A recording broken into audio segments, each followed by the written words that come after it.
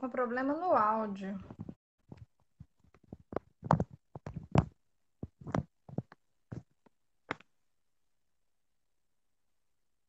Tá todo mundo me ouvindo aí?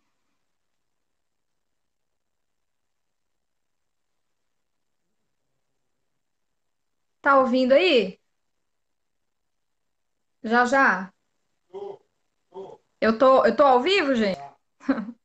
Desculpa estar aqui. Eu nunca fiz esse tipo de, de transmissão, não. É...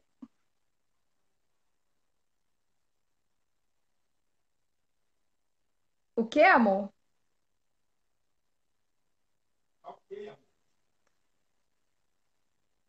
Então, né, eu não estou ouvindo o doutor André. Eu não sei se já é para dar prosseguimento. O microfone tem que ligar. Eu estava tava viajando aqui, esqueci de ligar o microfone. Uh, o pessoal está ouvindo? Vi confirmação aqui de que estão me ouvindo. E eu, estão me ouvindo?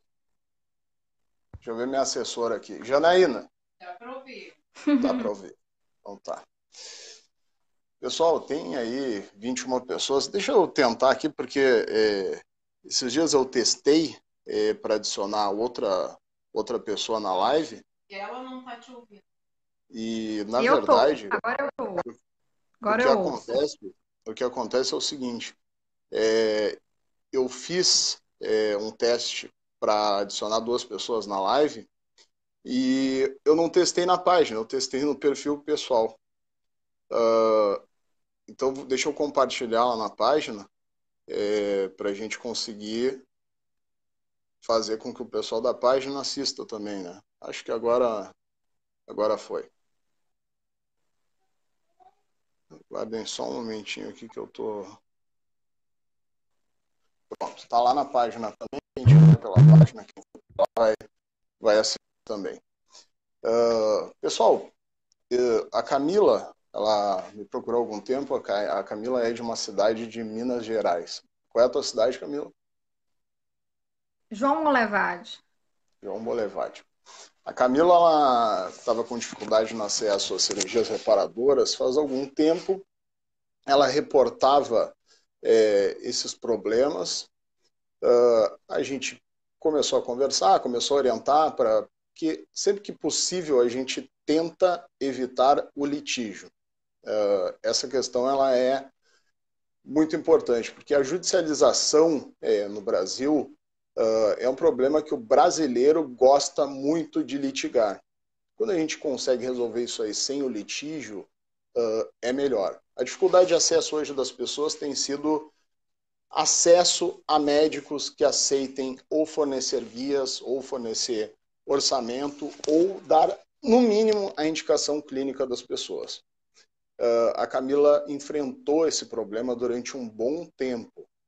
É, procurou e ela conseguiu. Então, eu vou deixar ela conte mais ou menos a história dela, é, para que fique mais claro e mais evidenciado para vocês é, o que, que está acontecendo. Uh, Camila, pode fazer o teu relato aí sem problemas. É, né? Obrigada a cada pessoa que esteja aí. É, eu acho importante a gente falar das situações que a gente anda passando, porque mesmo para a gente não se sentir só, porque desde, desde quando a gente busca um auxílio para bariátrica, até concluir o tratamento, por diversas vezes a gente se sente só. É, o que acontece? Eu me operei, eu fiz a redução na modalidade sleeve em 2015. Até então, eu emagreci por volta de 42 quilos. Meu peso máximo foi uns 108 quilos. Operei com 104. Enfim, quando a equipe médica julgou que eu já estava apta a reparadoras, o meu médico, o cirurgião gástrico, falou que eu poderia procurar e eu senti necessidade. Eu imaginei que seria difícil, mas nem tanto. Então, eu comecei por onde eu acho que todas nós começaríamos. Comecei a buscar cirurgiões que fossem da minha operadora. Então eu busquei, busquei muitos, muitos. Inclusive fui em muitos consultórios, fiz muitas consultas. Não é assim nada agradável, porque a gente tem que tirar a roupa para o médico. O médico toca a gente, é algo, pelo menos para mim, foi extremamente constrangedor. Eu busquei muitos, muitos médicos do plano e todos eles, no, no, na, na primeira abordagem, me indicavam diversos procedimentos, muitos. Eu preciso de muitos procedimentos. Creio que quem aí já reduziu, já está na fase das reparadoras, sabe do que eu estou falando. Então, quando eu falava, quando eu pedia que, ele, que eles me dessem um laudo ou atestassem aquilo que eles estavam falando ali comigo, todos eles só me indicavam o abdômen de forma simples. Não é nem abdominoplastia com amarração de músculo, lip, nada disso. A retirada pura e simples do avental. E isso, na verdade, não, não resolve meu problema, nem de início, porque eu tenho muitas necessidades. Então, assim, depois de procurar, de passar por muitos médicos, todos da operadora, muitos, muitos, eu não sei dizer, não sei quantificar quantos foram.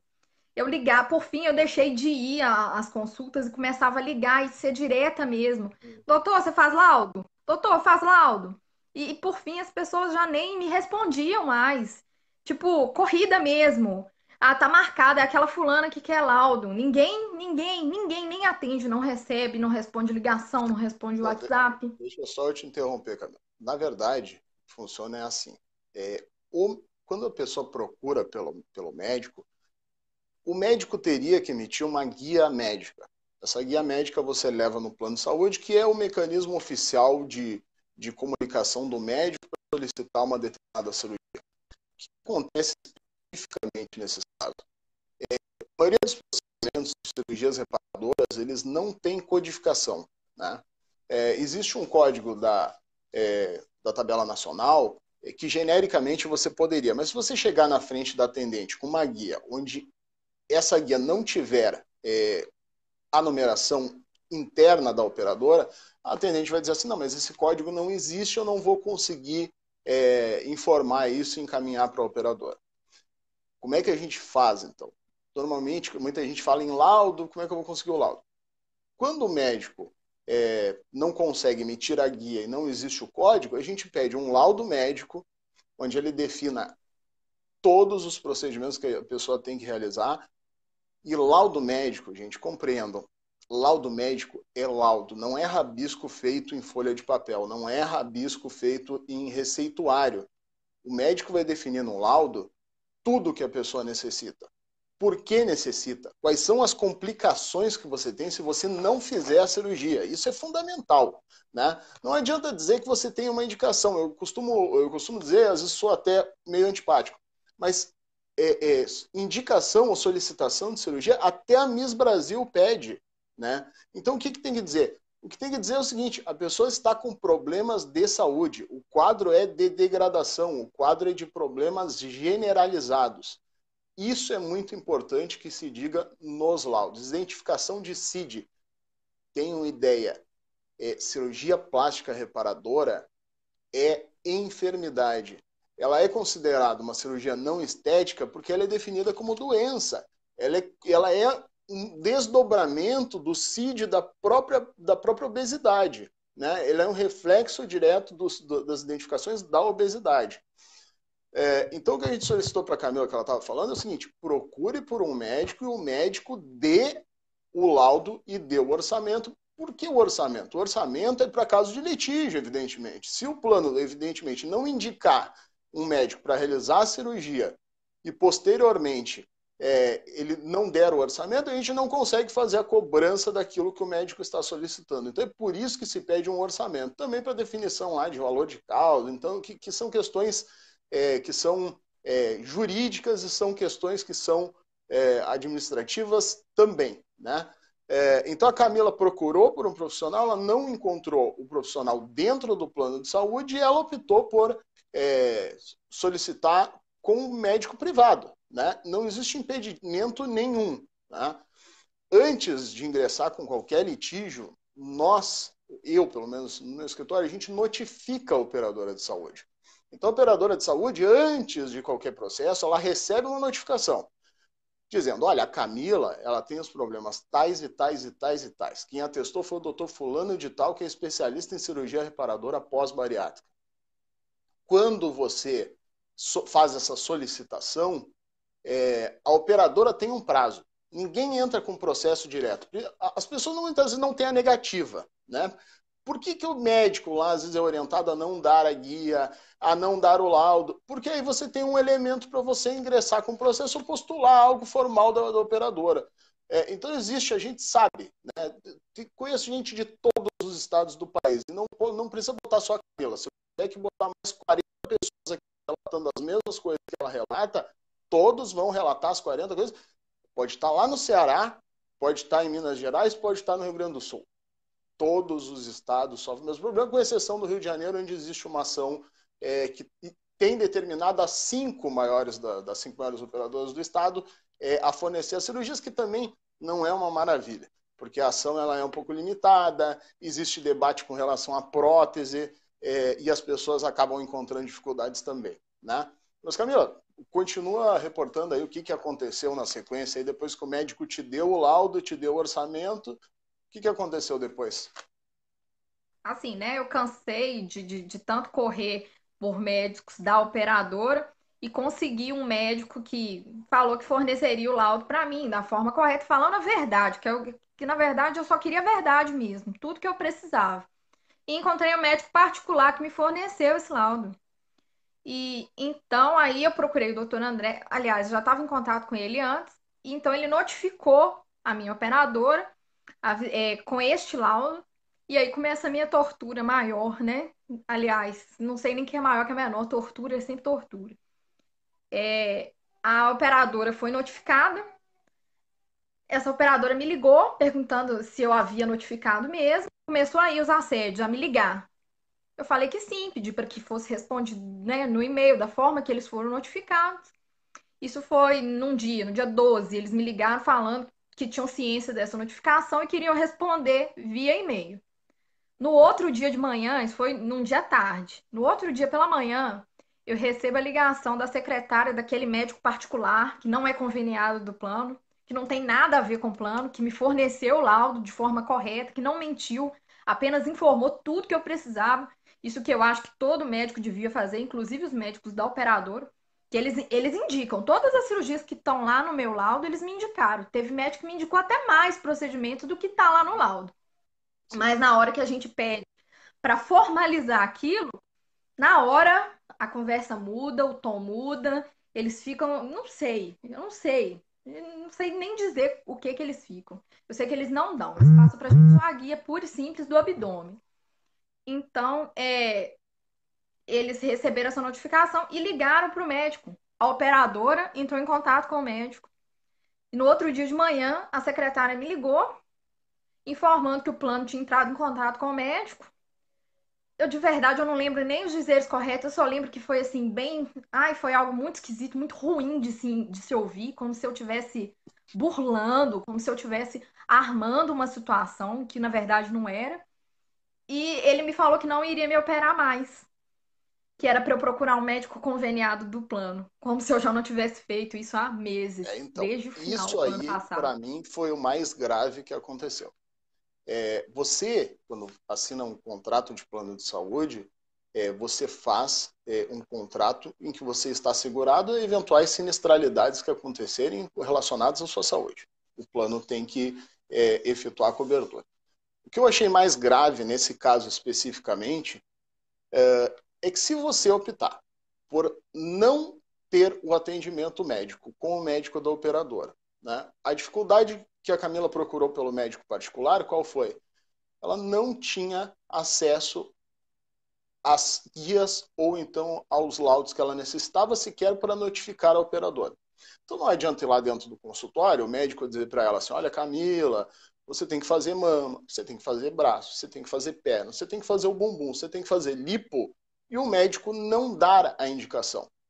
É, a impressão que nós temos é que o médico que se vincula à operadora, muitas vezes, ele se vincula esperando que você vá lá fazer o abdômen, que é de fato é, um valor irrisório perto do que um médico pratica é, numa cirurgia particular, mas muitas vezes os profissionais esperam que as pessoas é, cheguem lá para fazer o abdômen e posteriormente é, façam as cirurgias pela metodologia particular e aí ele vai ganhar mais 50, 60 mil reais é, em cima daquilo que ele já que ele já executou. Não é essa a lógica. A lógica é o seguinte: se uh, o médico é, não existe o código, ele não sabe quanto vai receber, tem que fazer a operadora pagar, né? Seja qual for o médico. Ah, mas pode ser um médico de fora? Existe uma divergência nessa discussão. Pode ser de dentro do operador, pode ser de fora. Porque antes de ingressar com o processo, a gente notifica. Então a gente chega lá e diz, ó, operadora, tá, você está sendo notificado aqui. Você tem 21 dias, olha, não é um prazo pequeno, 21 dias úteis que a gente segue inclusive aquilo que é dito pela ANS. 21 dias úteis para liberar cirurgia de alta complexidade. Operadora, ou a senhora libera o procedimento, está aqui a notificação, ou então a senhora paga um médico particular. Né? Mas tem que existir o acesso ao tratamento. No caso da Camila, o que eu achei. Eh, ela, fiquei chocado quando ela me ligou ontem, né? Embora eu já tenha visto de tudo nessa vida, mas quando ela me ligou e ela disse assim, ó, a operadora entrou em contato com o meu médico particular, isso é um absurdo, isso é um constrangimento ilegal que se faz à figura do profissional. Isso aí tem que ser coibido, inclusive, pelo Conselho Federal de Medicina. Nunca, nunca que pelo fato de você estar vinculado a uma operadora de saúde, a operadora tem o direito de receber um laudo e ligar para o teu médico. Para o teu médico dizer, não, uh, o senhor não pode atender. Eles foram que eles disseram para o médico. O senhor não pode atender uma, uma, uma, uma paciente. É, não vou falar plano de saúde, mas é, ele é bem sacana. Você não pode atender a paciente. Isso jamais poderia ser feito. Isso é um constrangimento à paciente, ao profissional. Porque onde é que está, então, a verdade do profissional que foi dita num laudo médico? Está ali. E ninguém faz é, processo de notificação sem comprovação daquilo que tem. Tem fotografia em todos. Os, os meus processos têm fotografia em todos. Então, o juiz que recebe um laudo, nunca ele vai conseguir dizer é, que, ah, não, o laudo é relativo porque tem fotografia do lado do laudo. A autenticidade, além da própria palavra profissional, que faz um juramento, né, a gente faz um juramento para é, dizer a verdade e fornecer os tratamentos necessários, Além disso, tem as fotografias que atestam a veracidade daquilo. Por isso que tem muita operadora que não tem coragem sequer é, de pedir perícia no processo. Porque se pedir perícia, chegará a ser constrangedor. Né? Então, por essas e outras, é que é, se valem do princípio da inércia. Sabe o que é o princípio da inércia? O princípio da inércia é o seguinte: a operadora lucra em cima de quem não faz nada. Então, é, vai a Camila lá, a Camila ficou insatisfeita e ela buscou. Né? Ela quer notificar, ela quer buscar os direitos. Onde é que a operadora lucra? Em todos os outros que não fazem nada. Em todos aqueles que acham que é justo e diz, ah, eu vou desistir. É difícil, gente. A vida é difícil. Ninguém conquista nada é, ao acaso. Tem que brigar, tem que lutar. Quando se luta e se tem o direito, se alcança. Não tem ninguém que vá é, tomar pau, a não sei que faça fraude na hora de contratar, é, entre outros elementos, mas se for regular, uma, uma, uma, uma, contratação regular, sem problema nenhum, a pessoa vai ter acesso. E aí, Camila, o que, que disseram mais lá para o teu médico lá? Aí ligaram para o médico, o médico, é, pela secretária, me, me avisou que não faria mais meu procedimento, que era para procurar um médico da operadora. Daí o plano começou a me ligar, querendo conversar comigo. Eu pensei duas vezes antes de ir, porque eu já estava me sentindo constrangido o suficiente para ter que ir lá, e sabe lá o que, ouvir o que, que, que eles queriam falar. Mas eu me senti tão mal em relação ao médico que eu, que eu queria entender o porquê que eles entraram em contato com esse médico, já que ele não tinha nenhuma relação com o plano. Se eles tivessem alguma dúvida, teria que sanar comigo, mas não ligar para o médico. Então eu fui. Hoje eu fui. Cheguei lá, eles me colocaram numa sala com uma analista jurídica, é, uma responsável pela área de auditoria e a gerente do plano. E então eles me entregaram uma carta falando comigo que era a resposta da nossa notificação, enfim, negando tudo, negando todos os procedimentos que ali foram solicitados, é, falando que a, ANS é, cobre que é, co, é, como é que eu vou dizer? Que a, que, que a obrigação deles, de acordo com a ANS, era só retirar a pele de forma pura e simples. Nem fazer abdominoplastia da forma correta, não. É só retirada da pele mesmo. A retirada e, da pele é a retirada do avental. Chamou ali. Pode falar, Dudu. A, a, retirada do avental sem, sem fazer suspensão pubiana, sem é, fazer outros elementos que sejam necessários, né? É isso que disseram. Isso.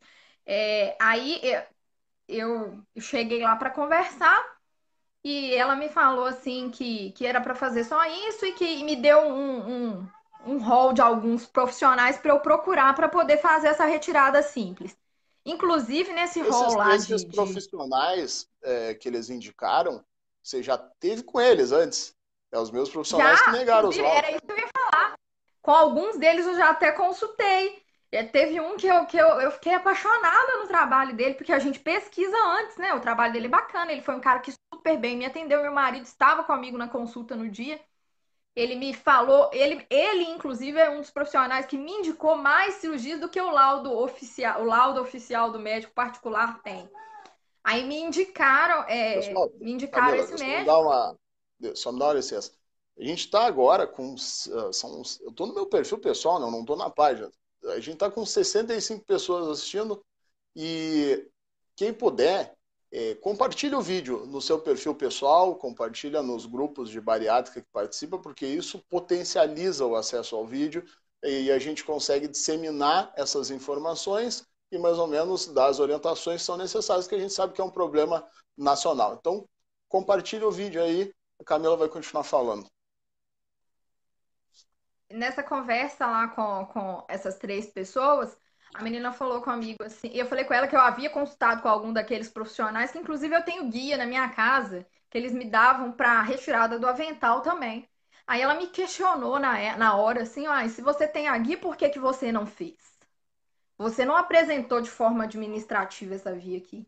Não apresentei porque a pura retirada da pele não são os meus problemas. Eu tenho muito mais problemas para resolver eu tenho certeza que o abdômen não ia negar de forma simples. Mas eu preciso de outros procedimentos, muitos outros.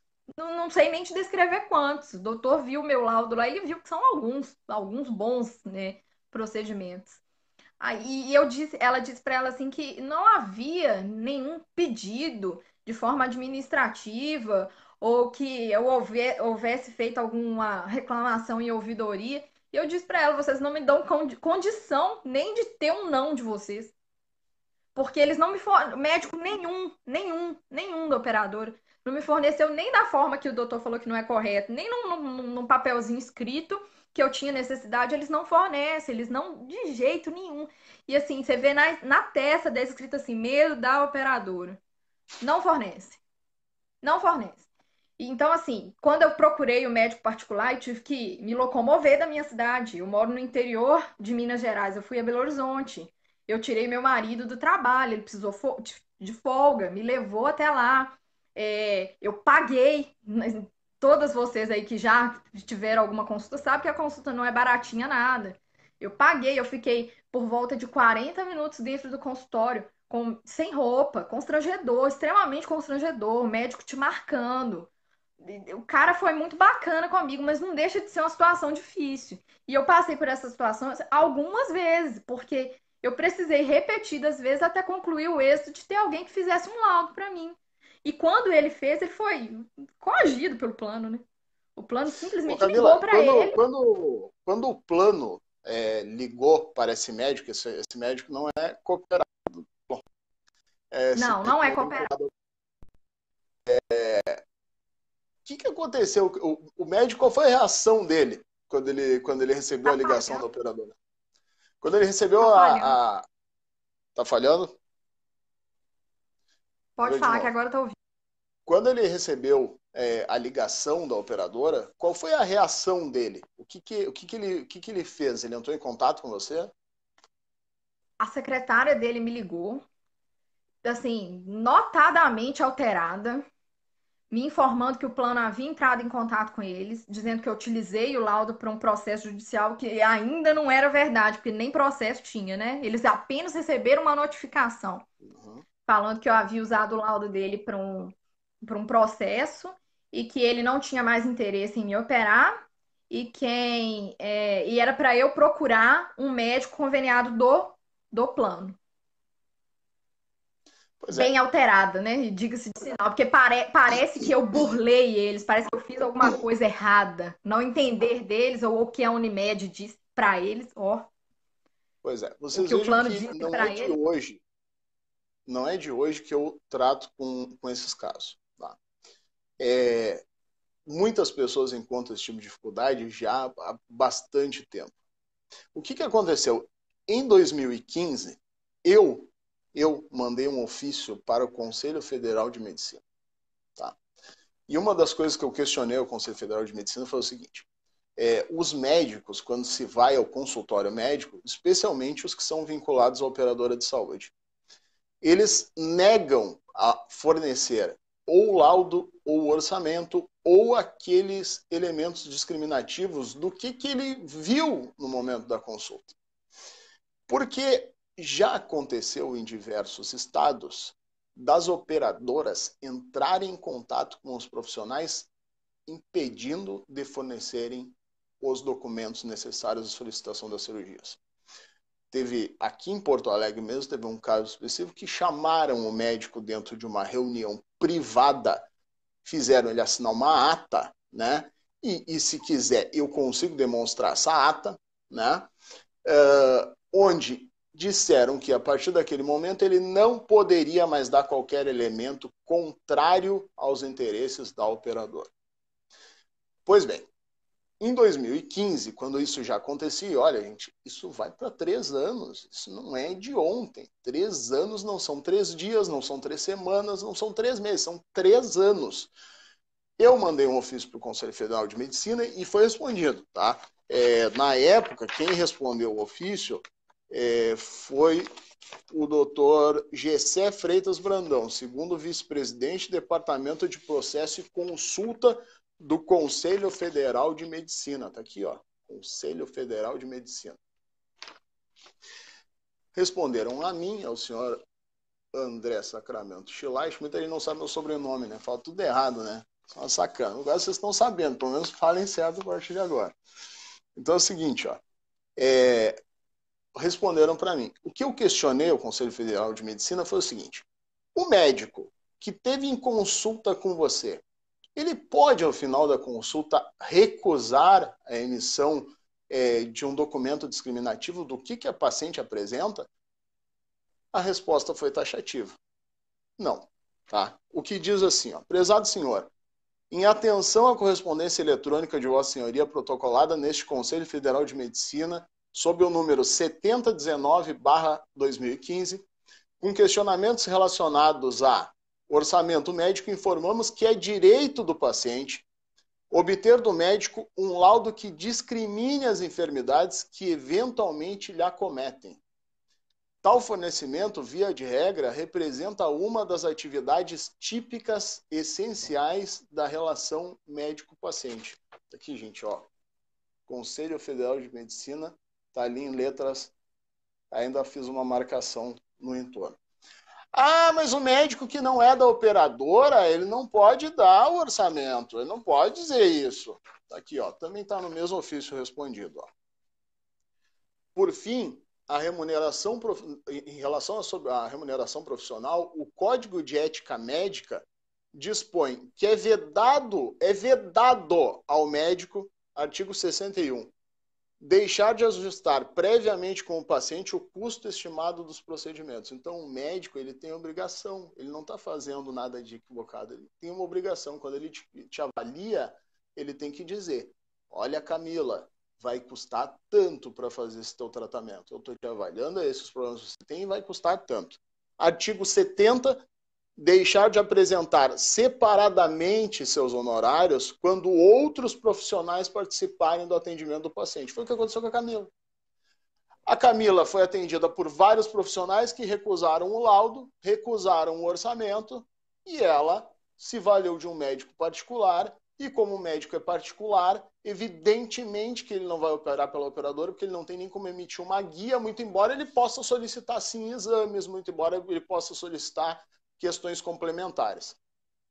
É obrigação do médico fornecer o laudo, é obrigação do médico fornecer o orçamento, é obrigação fornecer todos os elementos indicativos daquilo que veio de uma consulta. Você esteve lá para ser avaliado você tem o direito de sair de lá de dentro com a avaliação.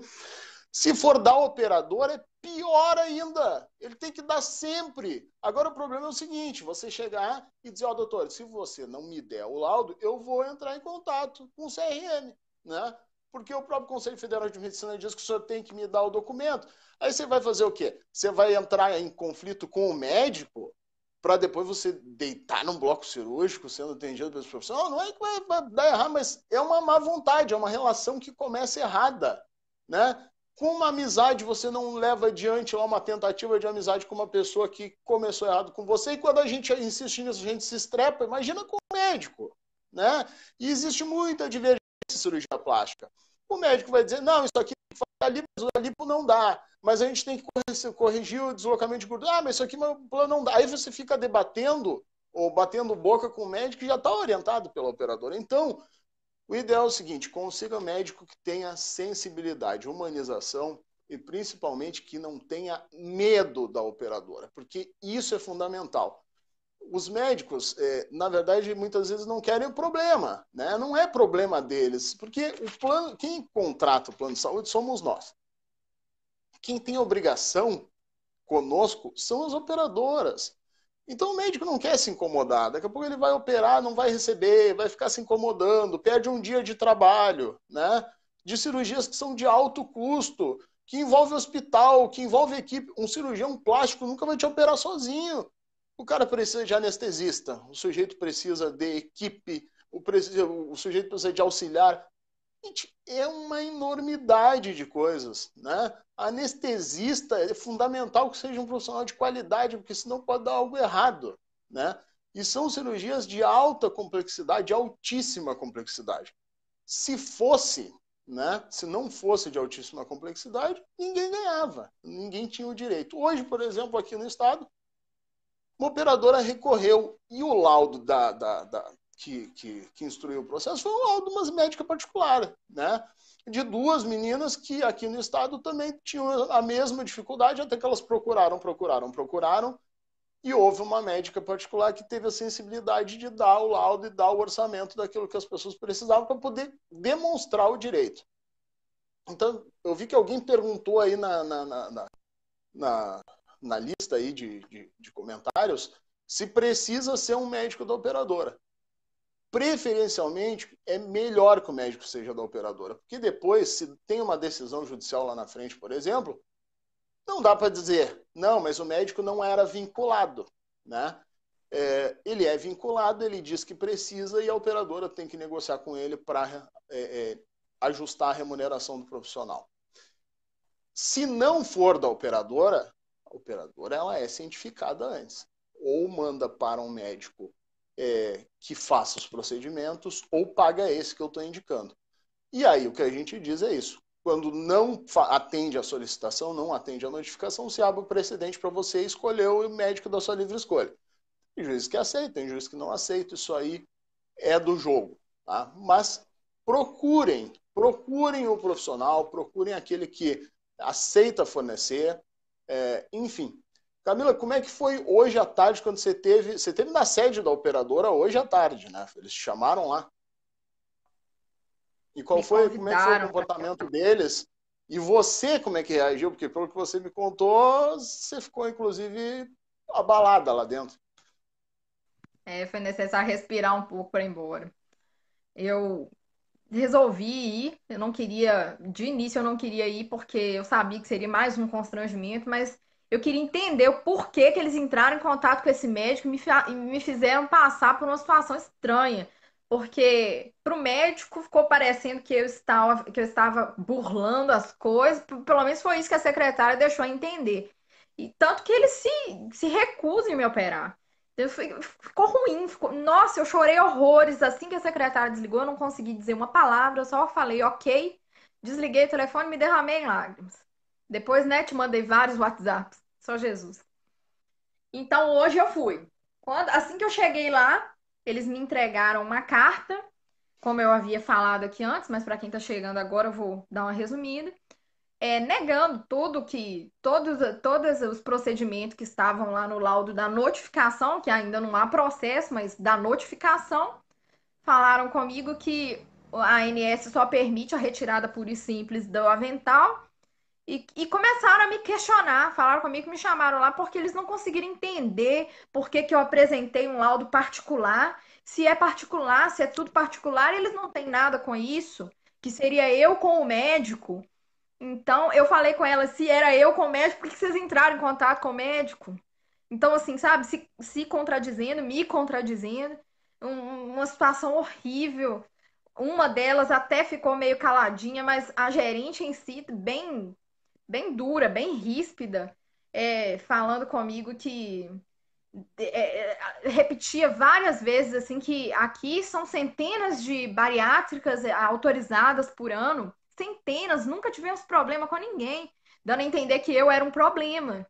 Porque foi isso que eu me senti, eu me senti sabe, um problema. Você sabe, Camila, que eu já tive, eu já tive, e eu já fiz bastante audiência dessas questões. Eu já tive audiência que a menina chorava compulsivamente, várias, não foi só uma. Chorava compulsivamente durante a audiência.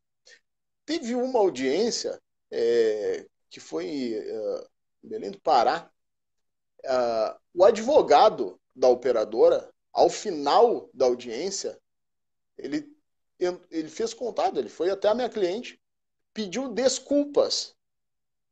Pediu desculpas. Sabe por quê? Que a irmã dele é uma operada bariátrica e que passa pelo mesmo tipo de problemas. Ele pediu desculpas. O médico, o, o advogado da operadora que estava fazendo a audiência, que presenciou é, a minha cliente chorando muito, compulsivamente, essa menina hoje está operada, graças a Deus. Né? Uh, mas mas é, é, é, chorava muito. Né? Então, quer dizer, os próprios procuradores, às vezes, sabem que uh, é uma matéria vencida, uma matéria pacificada. O, o Superior Tribunal de Justiça já, é, de pelo menos três anos, pacificou esse entendimento são cirurgias devidas não se compreende, né? É, é como eu digo, é, as operadoras lucram em cima de quem não faz nada, né? Então elas preferem pagar para ver. E como o número de pessoas que acaba demandando é muito menor do que aqueles que, que teria que fazer uma cirurgia, é, enfim, é, espontaneamente, cada vez que o médico solicitasse, acaba dando esse tipo de problema, que é, que é de fato incompreensível. Mas enfim, é agora os passos daqui para frente. Ficava ela ficava dizendo para mim assim que nunca teve problema com ninguém em relação à bariátrica, mas eu falei com ela que nós estávamos em chavinhas diferentes, foi até o termo que eu usei, que em relação à bariátrica eu não tive problema mesmo, mas eu tô tendo problema com a continuidade do meu tratamento. Eles não me fornecem nem o não. Se eu ouvisse o não, tava bacana, mas eles não davam nem condição de chegar lá e ter o não. Eu falei, mas eu nunca tive problema com ninguém. Eu falei, vocês nunca tiveram problema com ninguém, porque vocês nunca deram oportunidade nem do não. Porque os médicos não fornecem pra gente nada, nem pra gente ganhar ou não. Eu vou chegar lá no operador e falar aqui, operadora, tô querendo fazer umas cirurgias aí, pode ser? Não é assim que funciona. Tudo é Hoje tudo é do... documentado.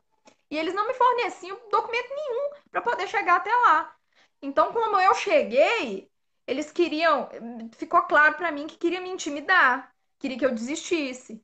Então, assim, ela me falava uma coisa, eu rebatia e aquilo. E eu sou meio forte, mas por fim eu aguentei. Porque eu, eu sou obesa desde que eu nasci, desde que eu me entendo por gente, a minha pediatra controlava pre... você meu perdeu, peso. Camila, no total? Por, por volta de 42, 42 quilos. Então, 42. assim, é maravilhoso perder 42 quilos. Quem tá aí fez a redução, é bacana demais. Mas quando você chega na meta e de repente se vê igual um balão murcho. Ai, Jesus, eu não sei sabe, nem te Sabe que essa expressão, essa expressão balão murcho, balão murcho, tem várias decisões judiciais que falam exatamente essa expressão.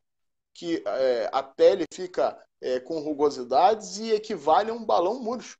Né? É, inclusive, se eu não me engano, a, a, principal decisão do Estado do Rio de Janeiro fala, fala exatamente esse, esse termo e essa, e essa expressão. Camila, o que, que você é, é, reuniu de documentos é, em, em, termos de laudo, em termos de é, orçamento? Quais foram os profissionais que você procurou para é, dizer que você necessitava da cirurgia, quais são os profissionais que atestaram isso para você? Pra, porque muita gente vai pensar que foi só o cirurgião plástico, não foi, né? Não, não. Foi, foi o cirurgião plástico, que eu procurei vários, todos eles falaram comigo de muitas necessidades, mas não colocaram no papel. Esse particular colocou, é um cirurgião plástico. O meu bariátrico, né, o gástrico, ele falou que eu já que eu tive perda suficiente e tal, e me indicou reparadoras é, e um psicólogo, uma psi, é, psicóloga, um, um laudo psicólogo, de psico, isso. Eu tô, tô, tô, nervosa, gente, eu nunca fiz isso. É, fica fica é calma. Tá só eu e você aqui, mais 73. Ah, mas, só. É, mas é só eu. E minha menina, e, e, minha filhinha gritando lá na sala assim, mamãe, assistindo no outro computador. Mas nem se escuta. Olha só, do, do laudo psicológico, você lembra o que, que foram as principais características que o psicólogo falou de, de problemas que você estava enfrentando? O que, que ele reportou no laudo? Não foi só uma consulta, eu tive que fazer uma terapia, né? E foi muito bom para mim, porque na verdade ele enxergou em mim, ela enxergou em mim coisas que eu não enxergava. Eu indicaria para todo mundo que, se possível, passar por uma terapia, porque é, é, lida com os sentimentos da gente, né? É, o meu marido é um cara espetacular, um cara que esteve comigo em todos os momentos, né? Desde que eu, desde a obesidade mórbida até a pós-cirúrgico, nessa luta para conseguir as reparadoras. Mas eu, eu tenho vergonha do meu esposo. Eu não consigo entrar pro quarto com a luz acesa e ter intimidade com meu marido bacana. Apesar dele não reclamar, ele é um cara tão bacana, não reclama, não, não me olha diferente, mas é eu, é o meu sentimento, aquilo que eu vejo de mim, entendeu? Meu, eu tenho um espelho do tamanho da porta do meu guarda-roupa. Eu troco de roupa e arredo o espelho, porque eu não, eu não consigo me ver naquele espelho do jeito que eu tô. É, aqui, aqui na minha. Dentro de casa, às vezes eu vou arrumar a casa com os meus filhos. Eu uso aquelas malhas de compressão. Não vou falar que a, é, o, como é conhecido aqui, não, porque é uma marca. Mas eu uso aquela que toda mulher usa para ir em casamento, que não pode, né? Para colocar aqui para apertar tudo e colocar tudo no lugar, eu uso aquilo para eu não assar. Fico suando, são assim, ai, dá assadura, dá mau cheiro se eu não cuidar. Então, assim, não é essa maravilha toda que o plano diz. Você sabe que eu fiz uma. Não sei se todo mundo sabe, né? Mas é, presumo que todos saibam, né? É, eu fui operado bariátrico, operei em 2008, né? Eu pesava aí na época quase 100 quilos a mais do que eu peso hoje. É, determinado dia eu fui fazer uma sustentação oral no tribunal é, e eu disse, muito bonito, é, tá aqui com uma toga, né? Tá montado, é, tá cheio de colete por baixo da roupa e só a gente sabe o que, que se sente quando se chega à noite em casa, que você tem que tirar é, camisa, você tem que tirar modelador, você tem que tirar é, a roupa e você sente no corpo os efeitos da sobra de pele, né?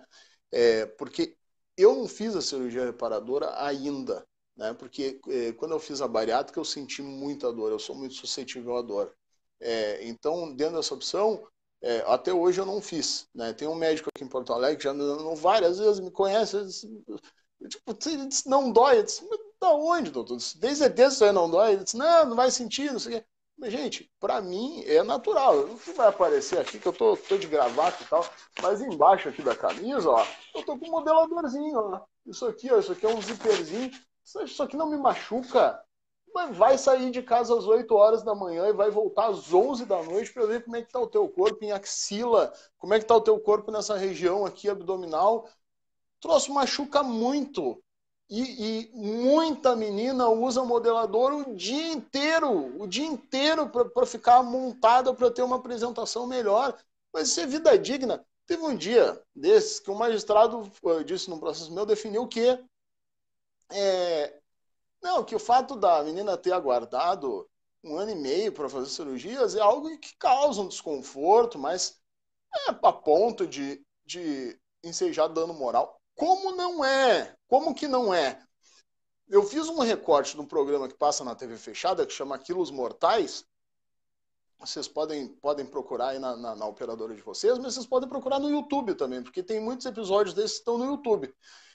Eu fiz pelo menos cinco prints é, de argumentos que tinha. A minha noiva está curtindo, porque ela, ela passa os dias vendo esse negócio. É, então, assim, ó, a gente. Ali eu tirei quatro prints. Existiam as pessoas falando cheia de sobra de pele e embaixo o sentimento da pessoa, ela reportando o que, que ela sente por estar com aquele excesso, o que, que ela sente de dor, o que, que ela sente de desconforto, a rejeição que ela tem a si própria de não conseguir se enxergar no espelho episódios que são. Doutora Andresa está assistindo, eu adoro ela. Minha, minha endócrina está tentando consertar o shape aqui, que não tá bom ainda, mas eu vou chegar lá, vou parar de comer chocolate, essas coisas, eu prometo. Esse dia ela falou que eu, que eu cheguei no consultório dela é, tendo dumping, que eu postei, né? Ela disse que não viu só depois que ela viu. Uma, uma outra, uma outra paciente que é conhecida nossa. Mas então, assim, ó, o que, que a gente faz? Tem muita dor, sim. Tem, muita, tem muito constrangimento, sim. É, você compra roupas. Antes não existiam as roupas. Depois que você tem a roupa, você coloca um cinto. Aquilo te marca, aquilo te corta. Fotografia que eu tenho é, das meninas com. É, eu tenho uma, uma, uma, uma cliente minha é, que ela é de Campo Grande. Campo Grande é, um, é uma das cidades mais quentes, mais secas do país. Essa moça, ela uh, ela trabalha com é, confeiteira, mas espécie de confeiteira. Ela faz esses bolos de casamento e tal. E, e ela trabalha muito os braços, porque ela molda as massas e tal. As fotos que tem no processo dela são inacreditáveis. Inacreditáveis. E a operadora, que por sinal é uma operadora bem grande, Camila, que é a mesma que a sua, ela já ela não ela tem a decisão aí já há alguns meses a operadora já pagou o hospital pagou, mas o médico dela não paga. E como é que o médico vai operar se a operadora não honra o compromisso de fazer um depósito para que ela consiga operar? Essa moça está em absoluto quadro de degradação. Então você vai dizer o quê? Ah, que deixar uma pessoa nesse estado esperando sete meses oito meses dez meses um ano e meio, dois anos, que até as pessoas chegarem no processo judicial, alcançarem decisão, etc. Gente, é, muita, é muito chão que rola. Olha a Camila aí no caso. Procurou por médio operadora, não conseguiu, consultou com quatro ou cinco, não conseguiu, consultou com não sei o quê. Até que ela conseguiu chegar no médico particular. E depois de chegar no médico particular, ainda estão constrangendo ela de mandar ela para dentro da operadora de saúde para dar justificativa porque que não cobre, porque que não sei o quê. Porque não... Ah, porque a ANS. A ANS. ganhar um não. É. Não, a ANS. A ANS, eu não vou entrar em debate político, mas principalmente depois que mudou esse governo federal aí, uh, o ministro da, da, da, Saúde aí há pouco tempo era um gestor aí de um dos maiores planos de saúde do país. Você vai achar o quê? Que a ANS vai botar, é, vai, vai mexer nesse vespeiro aí? não vai mexer. Inclusive, uma coisa que as operadoras têm feito, que eu acho de péssimo gosto e, de uma sujeira enorme, é que chega nos processos judiciais, eles mandam um ofício para a ANS, pede profissional à ANS, a ANS vai lá e diz assim, não, de fato, de nossa parte, apenas a dermolipectomia abdominal é obrigatória. A ANS ratifica. A ANS é uma excelente instituição, mas para a cirurgia reparadora, nunca peça socorro a ela porque ela vai lá e ratifica dentro dos processos dizendo que os planos têm razão. Isso é vergonhoso. Quem diz que as cirurgias são devidas é o Poder Judiciário. Né? Então, o Poder Judiciário tem suprido essa lacuna já há algum tempo aí, de 3, 4, 5 anos para cá, dizendo que os procedimentos são reparadores. Então, o Judiciário exerce a análise de uma função que seria, muitas vezes, aí, é, médica, de auditoria, né? Então o judiciário acaba compensando essas coisas. Tá?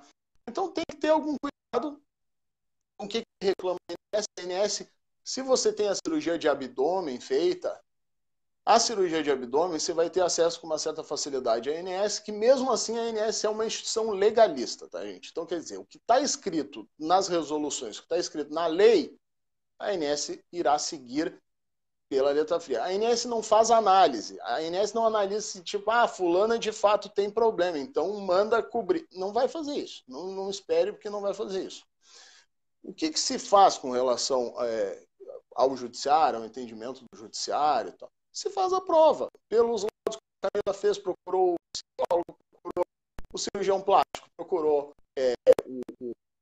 cirurgião bariátrico, né? Anexou fotografias. Então, quer dizer, esses são quatro pilares básicos para você conseguir é, o sucesso em tudo aquilo que você está pedindo, né? Ou seja, é a demonstração de que você efetivamente tem a necessidade. Então, isso é muito importante. Lutem por aquilo que é direito de vocês, lutem por, a, por aquilo que vocês acreditam, né? É, eu terminei de falar do, do, da questão lá. Eu juntei quatro ou cinco prints do, do, do Quilos Mortais, esse, né, que sendo processo eu disse. Se me convencerem, depois de assistir um ou dois episódios dessa série, que são até com americanos, mas vale porque é a mesma coisa. Se me convencerem que deixar uma pessoa nesse estado um ano, seis meses, sete meses, isso não causa desconforto, não causa dano moral, não tem gente que tem vontade de se matar, se me convencerem disso depois de assistir qualquer episódio desse, ou que vá numa, numa reunião terapêutica dessas, aqui, qualquer um que quiser ir, por exemplo, aqui no, no, no São Lucas da PUC, foi a equipe, a equipe que me operou, né? Eles fazem reuniões uh, acho que é, duas por mês, agora eu não sei como é que tá, e fazem ainda sábado de manhã. Lá você vai ouvir relatos de todas as pessoas em relação ao que, que sente antes, ao que, que sente depois. Se qualquer um que tem dúvida do que, que sente um bariátrico, então que vá numa reunião dessa, que é uma reunião terapêutica que todo mundo deveria fazer é, e a gente precisa contextualizar. Ah. Camila, é, você tem mais alguma coisa a dizer? Meu Acho que o prazo agora é. está fazendo uma ponderação aqui que ele é tão viciado quanto a sua noiva. Ele assiste, além de Quilos Mortais, ele assiste um outro também no, na, na, TV fechada que chama Emagreci e Agora. Que mas, trata é, exatamente... é, mas são os mesmos produtores, Camila, são os mesmos produtores. É, ele, é uma, ele é uma série, né? É, os Quilos Mortais, se você procurar Quilos Mortais no, no, no, no YouTube, você vai ver que no mesmo canal estão Emagreci Agora, né? É, que eles mostram, inclusive para quem vai fazer cirurgia bariátrica, tem muita gente que é desconfortável e diz assim: ah, porque o médico está me exigindo. Aí a Janaína falando, emagreci agora. O médico está exigindo que eu perca é, 10 quilos, 20 quilos antes da operação. Eu vou falar, isso aí não é, não é questão jurídica, gente, é questão é, técnica da cirurgia, tá? Quando eu fui operar, eu tinha 188 quilos né? É, eu tinha uma apneia de sono de grau elevadíssimo, eu tinha é, diabetes de, descompensada, estava em 400, eu tinha hipertensão que estava em 20, picos de 24. Teve uma vez que eu entrei, eu capotei um carro, eu entrei dentro do pronto-socorro de uma, uma cidade do interior do Rio Grande do Sul, quando isso aconteceu, corria todo mundo dentro do hospital. Eu não entendia por quê, porque aparentemente eu estava muito sujo, né? Porque eu caí num, num açude lá, num banhado mas eu estava depois que eu fui descobrir que a minha pressão estava explodindo. Então os caras corriam para tudo que era lado para me, me, encher de medicamento para tentar baixar é, a pressão que eu estava e eu todo amarrado numa maca. Então assim, as pessoas dizem assim, oh, mas e aí o que, que... gente é o seguinte, a execução da cirurgia bariátrica, o risco dela não pode ser maior do que o benefício que ela vai te trazer. Então você colocar um cara que está muito mal na mesa de cirurgia pode te matar. E te matar não adianta, né? Você tem uma qualidade mínima para você conseguir chegar na de operações. Eu antes de operar, o médico para mim, o doutor Marcelo, é, disse assim, ó, uh, você uh, ou você opera ou você não chega aos 40 anos de idade. Quer dizer, estou quase chegando lá, é, não teria chegado nessa proporção. Mas, enfim, é importante que tenha o preparo nessa série, eles explicam muito o preparo de cada um. É, eles conseguem definir como é que você deve se estender é, ou, ou, seguir. É, eu consegui perder 40 quilos, me perguntam, ah, como é que você conseguiu perder 40? Consegui perder 40 porque se eu, é, se eu não perdesse, é, você ia ver a morte. Né? E quando você está lidando com a morte, você acaba sendo muito mais prudente do que seria normalmente. Né? Com relação a Camila, é, a gente está dando prosseguimento à situação dela, está demonstrando tudo que ela tem necessidade. É, ela já mandou toda a documentação, vai acabar entrando num litígio, infelizmente, né? É, mas eu tenho certeza que a Camila vai estar vai, vai tá operada, daqui um tempo ela vai voltar, né? Aqui fazer uma live com a gente e vai estar vai tá operada. Vai estar tá operada. Eu tenho, tenho convicção disso, porque uma coisa que eu digo para todo mundo, eu não entro com processo para perder, né? Eu não entro com processo de quem não tem necessidade. Todas as pessoas demonstram amplamente que tem a necessidade e que o quadro é delicado. Essas pessoas, uma vez demonstrando isso, elas terão acesso à operação. Pode ter uma dificuldade aqui, outra colar, mas terão acesso. Por isso que se tem aí uma infinidade de pessoas operadas e a gente vai fazer com que a Camila também não tenha mais que usar essas, essas, uh, esses modeladores aí que a gente utiliza. Tenho certeza que isso aí vai ficar bem. A Camila, tem mais alguma coisa que você queira dizer ou queira contar? Não, eu estava eu tava falando e acabou que nós desviamos um pouco. Na conversa que eu tive lá dentro da operadora, eh, eram só uhum. mulheres na sala. Então, por fim, eu cheguei a, a, me emocionar, porque tinha horas que parecia que eu era apenas um número ou um entrave, não era humanizado, não, eles não estavam conseguindo compreender a minha dificuldade. Então, eu, como pessoa, eu me emocionei, contei das minhas dificuldades. Falei, eu tenho dois filhos pequenos, eu tenho um menino de quatro anos e uma menininha de dois. Eu não frequento piscina com os meus filhos porque eu não tenho coragem. É, é, são coisas assim, mínimas, mas que me machucam. Eu, as assaduras me incomodam, dá mau cheiro, quem tá aí, né, sabe que dá. As roupas de compressão, como você diz, incomoda. A gente, antes eu utilizava isso, sei lá, em duas horas me festa, chegava em casa desesperada para arrancar aquilo fora. Hoje eu uso por outro motivo, mas também incomoda. E eu terminei a minha conversa com eles lá, dizendo que a gente não precisava estender demais aquela conversa, porque eles tinham um posicionamento muito delimitado ali, que eles né, não cobririam e pronto, que inclusive a, a, a moça me disse o seguinte, que é, não poderia me dar um tratamento diferente, que aquilo que fizesse para mim tinha que fazer para outros. É o que eu também concordo, só que eles nunca dão oportunidade de ninguém chegar mais à frente.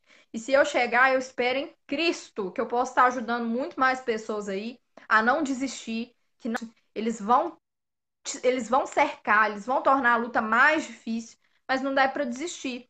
E eu disse para ela que eu acredito na minha verdade e que eu não vou recuar. E foi assim que nós terminamos. Eles nem me levaram até a porta, não. Eu, não, então tá bom, muito obrigada. E eu que entendi o caminho de volta e fui embora para casa.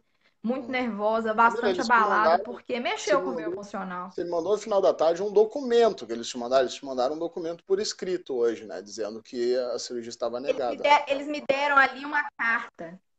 Eles me deram ali uma carta, e nessa carta eles usavam vários argumentos jurídicos, alguns, é, alguns trechos de lei informando que eles apenas cumpririam a lei, que eles são legalistas e que o que a, o que a lei determina é que eles retirem a pele. Falaram que aquele procedimento seria feito e me indicaram ali uns, sei lá, uns seis ou sete profissionais, ainda se colocando à disposição para me ajudarem a agendar com eles, entendeu? Mas só a retirada da pele não, não supre minhas necessidades nem de longe, mas nem de longe. Nunca. Você sabe, sabe dizer para as pessoas aí quais são as regiões que você tem que operar, Camila? Eu não, eu não entendi. As regiões do corpo que você tem que operar, além do abdômen, você sabe quais são? Ah, eu lembro algumas assim, mas tem que ver no laudo. É, eles falam de abdominoplastia, é, lipo de flancos, coxa, é, é, o abdômen era unânime, a mama era unanimidade. Todos os médicos que eu fui, nenhum falou que existe a possibilidade de fazer uma mama sem prótese. E que se todos falaram isso, para mim isso não é estético. Uhum. E, e, teria que ser mastopexia, tirar retirada de pele e tal. São muitos, são muitos. Eu não sei descrever, não sei nem, te falar a verdade, eu não conheço nem a terminologia. Eu só sei que não dava para que eles falam, falavam também que não dá para fazer tudo de uma vez, que teriam que ser seriadas as dos as... valores que os médicos te passaram, é, dos médicos da operadora, para fazer essas cirurgias particulares, disseram o custo? Ah, gira em torno. Ó, isso com a operadora cobrindo o abdômen, eles aproveitando aquela internação, porque eles falaram isso que dava para acumular, que era bom que baixava o valor que aproveitava o anestesista, aproveitava a internação no hospital. é, o, o, girava em torno assim de 27, 32 mil reais. Muito, muito, muito fora da minha condição. Não, valor é Teria que viver muito, assim. muito médico que, que cobra ainda valores acima disso. Você tem ideia, né? Eu já então, vi é... alguns casos até de 90 mil. É inimaginável que, que a pessoa tenha muitas vezes condições de, de arcar. É, é algo que eu digo assim: é, muitos planos do nosso país são planos empresariais. É, como são planos empresariais, não é incomum é, que existam pessoas que não tenham recursos vultuosos, né? Porque não é todo mundo que tem um plano de saúde de ponta, às vezes são planos que tem, são multinacionais, grandes redes.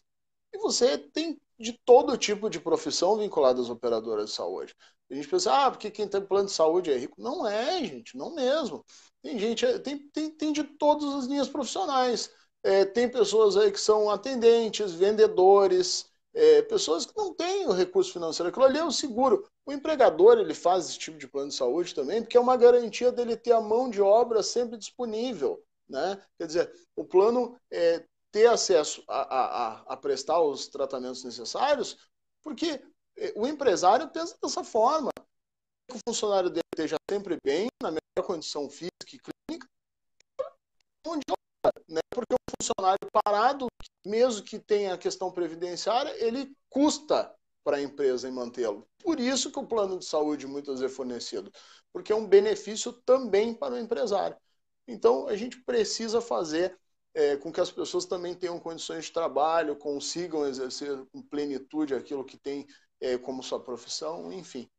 Camila, vamos em frente, vamos à luta. Eu já disse que a gente vai retornar aqui para conseguir, é, pelo menos, dar notícia da tua cirurgia ou, ou algo. A gente vai continuar discutindo, a gente vai acompanhando, vamos ver como é que vai ficar para frente. Mas uh, eu, principalmente, eu torço muito para que você esteja aí operada em breve tá? para que tudo dê certo. Mais alguma Muito coisa obrigada, que você quer dizer? Dá tchau para Eu só espero que não gente, ocorra mais nenhum tarrice. Não é pouco, a gente chegou a ter picos aí de 90 pessoas assistindo. A gente está numa sexta-feira à noite aí, mas é, ontem a gente ia fazer isso, eu cheguei a combinar com a Camila, mas é, eu viajei, eu tive uma audiência no interior do estado, cheguei muito tarde, é, e hoje a gente acabou entrando tarde, mas fico extremamente satisfeito com o número de pessoas que assistiu, principalmente está no meu perfil pessoal. Não sei como é que é, entrou isso aí lá na página lá ou nos grupos para quem compartilhou. Depois esse vídeo vai ficar disponível aqui na minha página. Quem quiser compartilhar também é, ou mandar questionamentos, eu estou sempre à disposição. Esses dias eu falei isso. Eu tento responder todo mundo na medida do possível. Comigo ninguém fala com secretária, ninguém fala com assessor, fala comigo. Quem responde as, as, as, as as, os questionamentos sou eu. Inclusive, eu mando as respostas três da manhã, porque eu sou meio noturno, assim, né? Faz parte. É, mas sou eu, eu que respondo. Que é, não, às vezes eu não durmo mesmo. Eu tava a doutora Andresa aí assistindo aí, que ela entrou um pouquinho. A grande briga é, da minha manutenção de peso, hoje o problema maior não é a alimentação, porque eu me alimento de forma errada, mas eu durmo muito mal. Né? Tem noite que eu durmo duas horas, três horas, mas não consigo dormir muito, tem que dar uma tapeada em horários que são meio fora da curva, mas é, é o que a gente vai, vai levando. Mas é um prazer porque a gente consegue é, dar acesso a muitas pessoas que estão, estão nas dificuldades, como a Camila. Para mim, isso é muito importante. É, é revitalizante é, a gente poder auxiliar as pessoas dentro dessa contextualização. Camila, obrigado. Né? Agora é o momento de descansar, aproveitar com a família aí que é final de semana. E vai dar tudo certo. Tá? É, muito obrigada. É, desde o início, mesmo antes da contratação, o doutor André sempre se, se mostrou muito disposto, sempre respondendo as, os questionamentos. Às vezes a gente manda para ele, ele demora um pouco a responder, mas ele está fazendo outras coisas. A hora que você assusta, você acorda de madrugada para tomar uma água, a resposta está lá, e é sempre ele mesmo. É, as meninas aí que eu, eu vi alguns comentários aqui de força, muito obrigada, de verdade. Isso me ajuda demais por muitas vezes eu quis desistir, mas pela força do doutor André e por querer abrir aí fronteiras, abrir caminhos para as pessoas que vêm atrás, eu vou seguir em frente. E se Deus quiser, vai ser muito mais fácil para vocês que está sendo para mim. E eu, eu quero mesmo que se a minha história assim ajudou uma pessoa que seja, eu já estou feliz, de verdade. Não desistam, gente. Não é fácil, não é fácil. Mas no fim vai dar certo. Ó, que eu nem cheguei no fim, tô só no início. Mas eu já tenho plena convicção de que vai dar certo. O pessoal que está acompanhando aí agora vai ficar mais fácil para a gente conversar, porque é, fiz um investimento em câmera, em luz, microfone. É, então ainda são os primeiros testes que a gente está fazendo, mas eu tenho certeza que vai, vai melhorar bastante a forma de contato. Não vão ser só lives. Como eu disse outro dia, quem quiser fazer questionamentos, faça, envie ou por escrito. Quem quiser fazer um vídeo curtinho também, encaminhe, porque eu vou editar esse vídeo. E a ideia é que a gente faça um banco de dados é, com as respostas as principais que as pessoas têm. Então, conto com a participação de vocês, porque, é, enfim, a gente tenta responder individualmente, a gente sabe que muitas pessoas ficam constrangidas e tal, mas tenham essa percepção. É, vocês só vão conseguir é, chegar na plenitude de todos terem acesso aos procedimentos se todos brigarem juntos. A gente fala aí que juntos nós somos mais fortes e tenho certeza que nós somos mesmo. Já se mudou muita coisa em relação à bariátrica, é, já se mudou em relação às respiradoras, a gente tem é, perfeita convicção de que com o tempo tudo isso vai melhorar de forma muito significativa. Uma boa noite para todo mundo que acompanhou, que estava aí, é, seguidores que não gostam da gente também, os, os, colegas advogados, que a gente sabe que sempre estão assistindo e acompanhando também o trabalho. Um abraço para todo mundo, um excelente final de semana aí para vocês. E, enfim, até a próxima. Tchau, Camila. Tchau. Tchau.